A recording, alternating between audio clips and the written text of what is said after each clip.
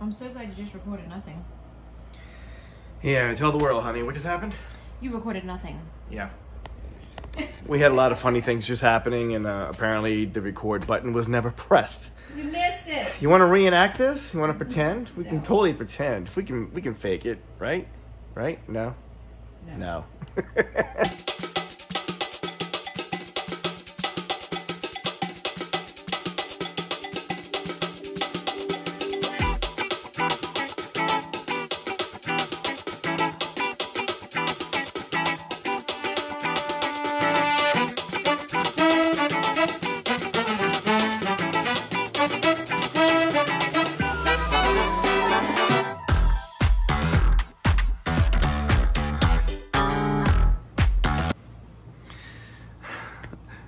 So, wifey and I drove four hours to visit our oldest daughter up in college. She's in theater, uh, had a performance.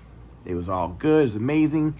And went and had some lunch, you know, gotta have some sushi, man. Love the sushi. But we get to the hotel, and apparently there's some some issues with their Wi-Fi. They had some power outages due to the snow from a few weeks ago. They've got damage. It's it's a thing. Um, so anyway, can't really dog the hotel for certain things because they're out of control of the situation. They, you know, it is what it is. But I have no Speaking of control, I have to read this to you. Now, New Orleans, besides being under lockdown, the lockdown restrictions of being in your house and that kind of stuff has lifted a lot, okay? That's fine. The problem we're having now is that next month makes one year, one whole year of our entertainment industry being destroyed. Meaning the restrictions we keep having with bands that can't play. Brass bands, apparently blowing in those horns is spreading the virus. Um, so I have to just read this to you because you would not believe me if I didn't read this, okay? I'm going to throw this graphic up on the screen right now. This came out today. This was the today's updated version of the new, better mandate, supposedly. Indoor live entertainment in front of an audience may be performed in restaurants and indoor event venues.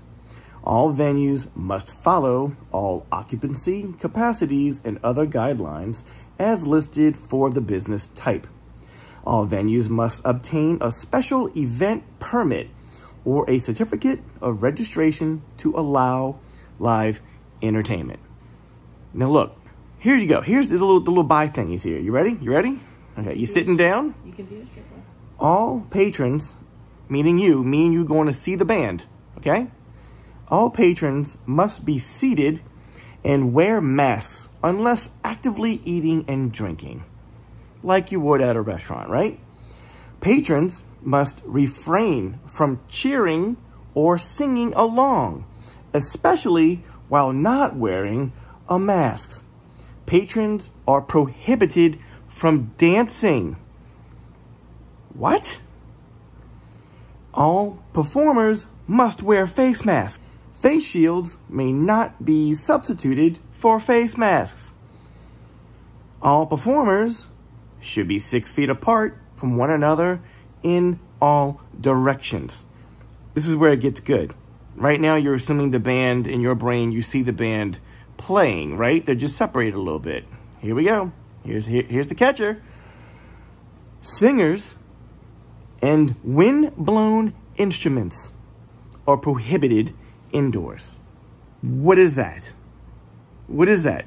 You can't sing inside and you got a brass instrument, you can't blow it. So the idiocracy on this is the lack of science, okay? I wish somebody would tell these people that when you blow into a horn of any kind, what comes out of that bell is vibrated waves called sound waves. There's no spit leaving the bell of the horn.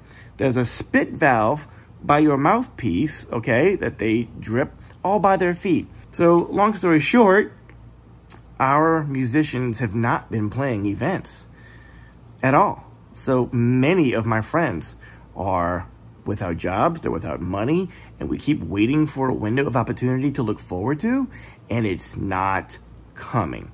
However, in one of the other paraphrases, strippers can now go back to work. I'm, I'm not lying. It's, it's in the release. So apparently somebody is there to, uh, you know, Windex the pole after each dancer collects their dollar bills. I'm ending my vlog on this because I'm aggravated. Um, I will show you more tomorrow. We're going to see our daughter in a little bit. My vlog is, I know it's short, but I wanted you to see this and hear this to understand what we're going through over here. The only thing that makes the news, our local news, is bars and restaurants. That's all they talk about. They don't even, they just like ignore the whole event industry. They have been ignoring musicians. There has been no effort whatsoever on, hey, here's how we can move forward. Here's idea one, two, three. How about a band play with some kind of a clear shower curtain, or I don't care what you come up with. Just give us an opportunity to take your idea and make it better on our own. We can do this, you know? We're smart people. But apparently the people that are working for us are not. GK out.